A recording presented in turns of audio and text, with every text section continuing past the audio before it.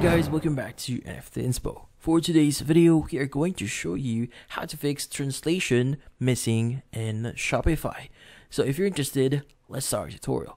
So for you to fix this problem, the first thing you need to do here is you have to make sure that translations are actually properly set up in your Shopify store.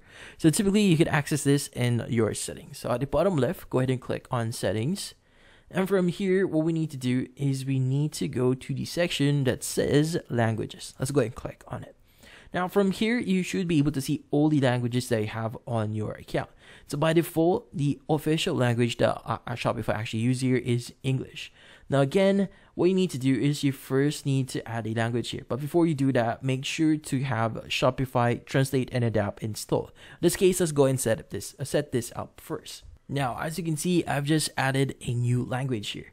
So if you already have a language, typically you should be able to see it in here as well. In this case, I've added the Filipino language here. In this case, let's go ahead and click on the translate option and just choose translate and adapt.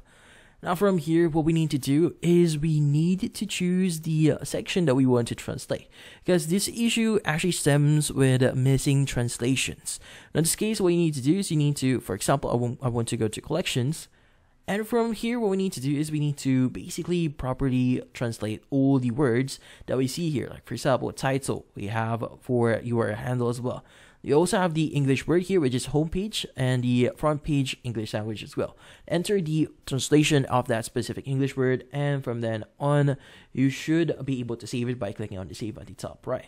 They also have the auto translate option here, but sometimes it's not reliable. But in this case, once you click on auto translate here, that would translate everything for you, which in this case, it might take around 24 to 48 hours. But again, sometimes it do does not work properly, so make sure to check all the options that you see here, all the categories, and make sure that they have proper translations. But in this case, that's about it. So hopefully this video was able to help you. Like and subscribe to NFT Inspo. Thank you for watching.